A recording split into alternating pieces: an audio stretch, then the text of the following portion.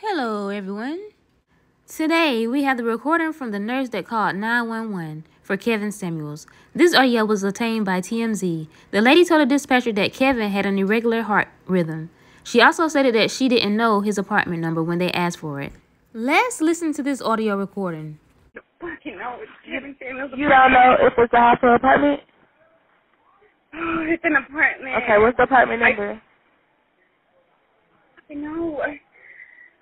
I just need to give him CPR. Just please, just ask the front You need an ambulance? Yes. Okay. Are you listening? Hold on, ma'am. I have to connect you with the ambulance. It's Kevin fucking Samuels. I understand, but I have to connect you with the ambulance. Are you okay? EMS was the address of your emergency. Is he awake? No, he has an irregular rhythm. I can feel it. He's he's breathing in and out, but he has an irregular rhythm. It's probably his heart. So need you to get here with the fucking. Uh, some- Atlanta. I'm up. Stop him. moment, ma'am. Come on, Kevin, you got it. Oh, come on, just try to breathe. Come on, you got it. Come on, think about your mom. Think about your daughter. Let's go. One, two, three, four. One, I'm sorry. two, three, four. I need to call the front desk to get an AED. He's not going to make it. One, two, three, four.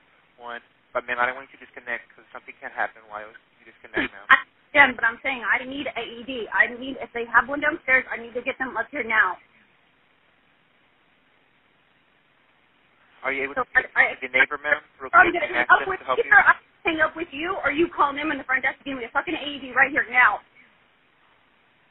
He's turning blue. I cannot wait. any- She said although his breathing was irregular, he was still breathing and holding his heart. You can also hear her saying, just think about your daughter. She wanted an AED because he was dying and turning blue. However, no one was working at the front desk during that time. The young lady is a traveling RN who is licensed in the state of Kansas. She travels to Atlanta to work. You can just hear how scared she was for Mr. Samuels. I am so sorry to hear about his passing. Prayers go out to his family. Let me know what you guys think in the comments. Don't forget to like, comment, and subscribe. Thanks for watching. Until next time, bye bye.